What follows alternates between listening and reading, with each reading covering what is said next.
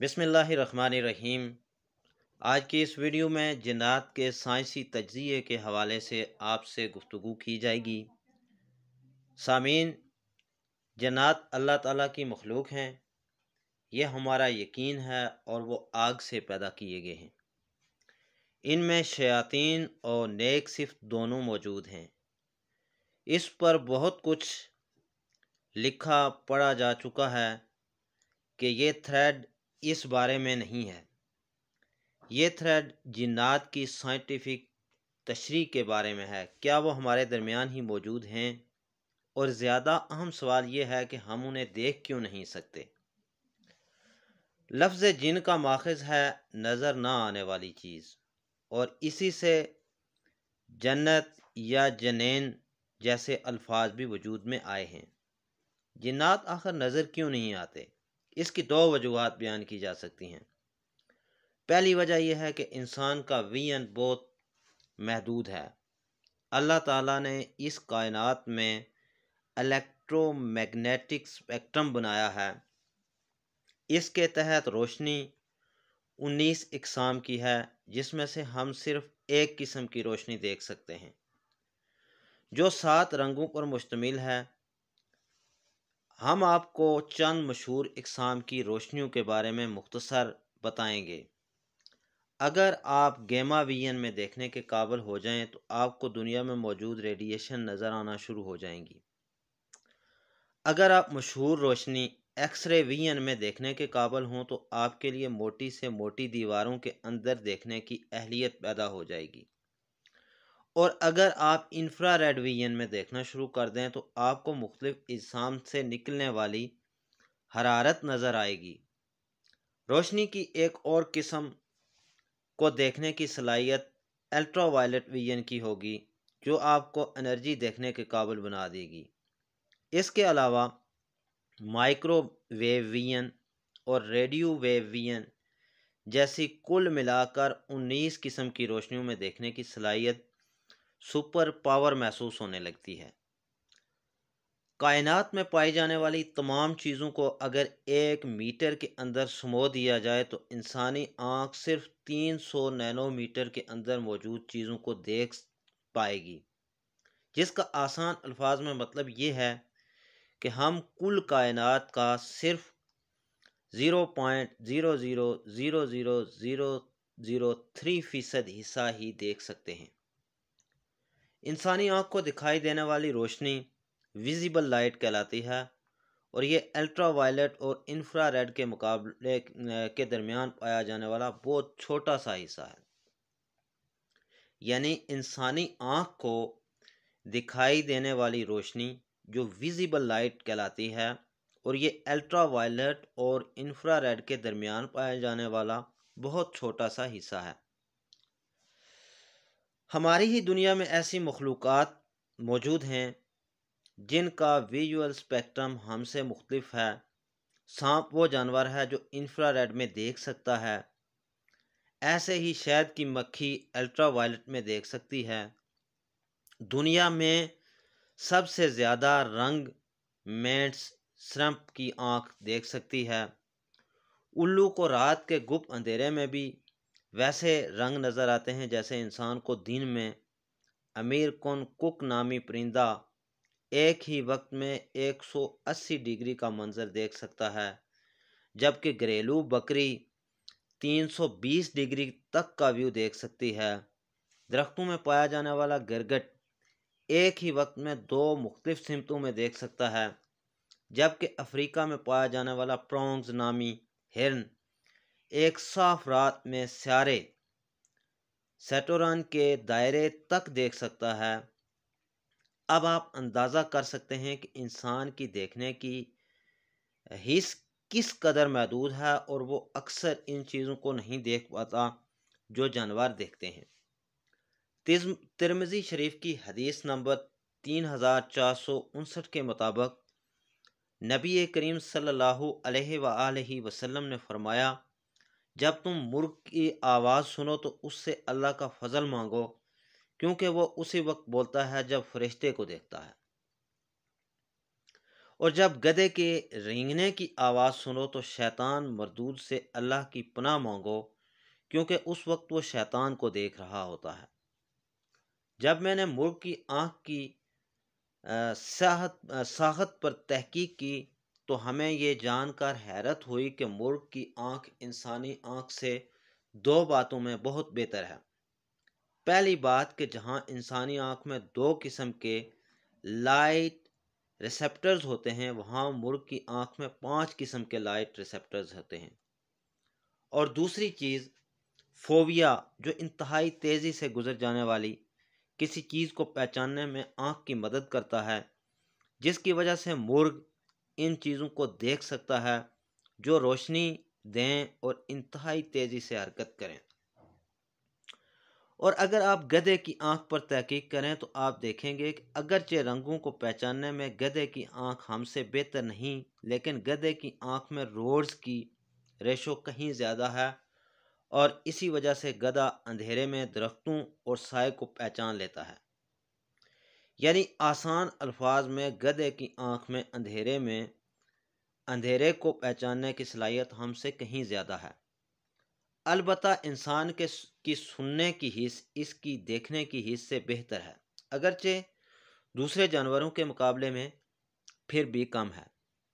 मिसाल के तौर पर नेवले नमा जानवर बिजो के सुनने के आ, की सलाहियत सबसे ज़्यादा यानी सिक्सटीन हर्ट्ज से लेकर पैंतालीस हज़ार हर्ट्ज तक है और इंसान की इससे तकरीबन आधी, यानी बीस हर्ट्ज से लेकर बीस हज़ार हर्ट्ज तक है।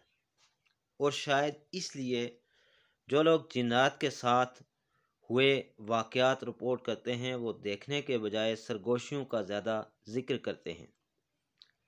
एक सरगोशी की फ्रीक्वेंसी तकरीबन 150 हर्ट्स होती है और यही वो फ्रीक्वेंसी है जिसमें इंसान का अपने जहन पर कंट्रोल ख़त्म होना शुरू होता है। इसकी वाक़ इसकी यानी वाज जो मिसाल है वो A S M R therapy है जिसमें 100 हर्ट्स की सरगोशियों से आपके जहन को रिलैक्स किया जाता है। इस थ्रेड के शुरू में हमने जिन्नात को ना देख पाने की दो मुमकिन वजूहत का ज़िक्र किया था, जिनमें से एक तो बयान कर दी, लेकिन दूसरी बयान करने से पहले एक छोटी सी थ्योरी समझाना बेहतर होगा। 1803 में डाल्टन नामी साइंसदान ने एक थ्योरी पेश की थी कि किसी मादे की सबसे छोटी और ना नज़र आने वाली कोई इकाई होगी, और डाल्टन ने इस इकाई को एटम का नाम दिया था। इस बात के बाद सौ साल गुजरे जब थॉमसन नामी साइंसदान ने एटम के गिर्द मज़ीद छोटे ज़रात की निशानदेही की, जिन्हें इलेक्ट्रॉन्स का नाम दिया गया। फिर सात साल बाद रेदरफोर्ड ने एटम के न्यूक्लियस का अंदाज़ा लगाया। सिर्फ़ दो साल बाद बोहर नामी साइंसदान ने बताया कि इलेक्ट्रॉन्स एटम के गिर्द घूमते हैं और दस साल बाद 1926 में शोरडेंगर नामी साइंसदान ने एटम के अंदर में, अंदर भी मुख्तलिफ़ इकसाम की एनर्जी के बादलों को दरियाफ़त किया। और जो चीज़ 200 साल पहले एक थ्यूरी थी, आज वो एक हकीकत है और आज हम सब एटम की साख से वाकफ़ हैं। हालाँकि उसे देख पाना आँख के लिए आज भी मुमकिन नहीं। ऐसी ही एक थ्योरी 1960 साठ में पेश की गई। जिसे स्ट्रिंग थ्योरी कहते हैं, इसकी डिटेल्स बताने से पहले एक बात की वजाहत करना ज़रूरी है कि इंसान की हरकत आगे और पीछे, दाएँ और बाएँ, ऊपर और नीचे होना मुमकिन है, जिसे तीन डायमेंशंस या थ्री डी कहते हैं। हमारी दुनिया या हमारा आलम इन्हीं तीन डायमेंशंस के अंदर कैद है, हम इससे बाहर नहीं निकल सकते। लेकिन स्ट्रिंग थ्योरी के मुताबिक मज़ीद ग्यारह डायमेंशंस मौजूद हैं।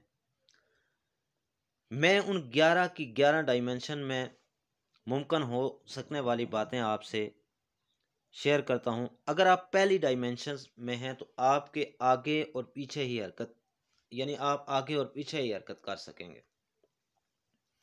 अगर आप दूसरी डायमेंशन में दाखिल हो जाएँ तो आप आगे, पीछे, दाएँ, बाएँ हरकत कर सकते हैं। तीसरी डायमेंशंस में अब आप आगे, पीछे, दाएँ बाएँ, ऊपर नीचे हर तरफ़ हरकत कर सकेंगे और यही हमारी दुनिया है, या जिसे हम अपना आलम कहते हैं।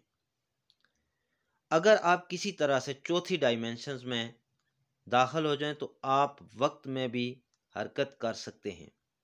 पांचवी डायमेंशन में दाखिल होने पर आप इस आलम से निकल कर किसी दूसरे आलम में दाखिल होने के काबिल हो जाएँगे, जैसा कि आलम अरवा। और छठी डायमेंशंस में आप दो या दो से ज़्यादा आलमों में हरकत करने के काबिल हो जाएँगे। और मेरे जहन में आलम इसबाब के साथ आलम अरवा और आलम बरज़ का नाम आता है। सातवीं डायमेंशंस आपको इस काबिल बना देगी कि इस आलम में भी जा सकेंगे जो कायनात की तख्लीक से पहले, यानी बिग बैंग से पहले का था। और आठवीं डायमेंशन आपको तख्लीक से पहले के भी मुख्तलिफ़ आलमों में ले जाने के काबिल होगी। नौवीं डायमेंशन ऐसे आलमों का सेटअप होगा जिसमें से हर आलम में फ़िज़िक्स के कवानीन एक दूसरे से मुकम्मल मुख्तलिफ़ होंगे। मुमकिन है कि वहाँ का एक दिन हमारे पचास हज़ार साल के बराबर हो और आखिरी और दसवीं डायमेंशन में आप जो भी तस्वर कर सकते हैं, जो भी सोच सकते हैं और जो भी आपके ख्याल में गुजर सकता है, इस डायमेंशन में वो सब कुछ मुमकिन होगा। और हमारी ज़ाती राय के मुताबिक जन्नत शायद इसी डायमेंशन से भी एक दर्जा आगे की जगह है, क्योंकि हदीस कुदसी में आता है कि जन्नत में मेरे बंदे को वो कुछ मैसर होगा जिसके बारे में ना कभी किसी आँख ने देखा, ना कभी किसी कान ने सुना और ना कभी किसी दिन में इसका ख्याल गुजरा। और दूसरी जगह यह भी आता है कि मेरा बंदा वहाँ जिस चीज़ की भी ख्वाहिश करेगा, वो उसके सामने मौजूद होगी। बिल यकीन जिन्नात हमसे ऊपर की डायमेंशंस की बींग हैं। और ये वो दूसरी साइंटिफिक वजह है जिसकी बिना पर हम उन्हें नहीं देख सकते। इन दस डायमेंशंस के बारे में जानने के बाद आप ये समझ सकते हैं कि जिन्नात के बारे में कुरान हमें ऐसा क्यों कहता है कि वो तुम्हें वहाँ से देखते हैं जहाँ से तुम उन्हें नहीं देख सकते। या फिर अफरीत इतनी तेज़ी से सफ़र कर सकते हैं, जैसे सूरत सबा में ज़िक्र है कि एक अफरीत ने हज़रत सलमान के सामने मलका बल्किस के तख्त लाने का दावा किया था, या फिर कश शकल का उन पर असर क्यों नहीं होता और वह उड़ते फिरते हैं। या फिर कई दूसरे सवाल जैसे आलम बरज़ जहाँ रूहें जाती हैं, या आलम अरवा जहाँ तख्लीक से पहले अल्लाह ताला ने तमाम अरवा से अहद लिया था कि तुम किसी और की इबादत नहीं करोगे और सबने होश में इकरार किया था, या क़यामत के रोज़ दिन कैसे मुख्तफ होगा, या शहदा की ज़िंदगी किस आलम में मुमकिन है। इन तमाम आलमों में, यानी आलम बरज़ आलम अरवा या आलम जन्नात के बारे में तहकीकी तौर पर सोचना एक बात है, लेकिन जिस चीज़ ने ज़ाती तौर पर हमारे दिल को छुआ, वो सूरह फातह की इब्तदाई आयत है, अल्हम्दुलिल्लाह रब्बिल तमाम तारीफ़ें उस अल्लाह के लिए हैं जो तमाम आलमों का रब है। और हम समझते हैं कि तमाम आलम के अल्फाज का जो असर अब भी अपने दिल पर इंसान महसूस करता है, वो पहले कभी महसूस न किया था। यकीनन यह वीडियो इंतहाई इंफॉर्मेटिव है, जिसमें जिन्नात के नज़र ना आने की वजूहत और जो मुख्तफ आलम हैं उनके बारे में और जो रोशनी की इकसाम हैं और इसके अलावा जो जानवरों के हवाले से बताया गया है कि कौन सा जानवर कितनी डायमेंशंस है और कितना दूर देख सकता है, कितनी डिग्री तक देख सकता है। यकीनन आपको हमारी ये वीडियो अच्छी लगी होगी। इसे ज़रूर दूसरों के साथ भी शेयर करें, इस पर गौर भी करें। और अगर आप हमारे यूट्यूब चैनल पर नए हैं तो इसे सब्सक्राइब भी कर लें।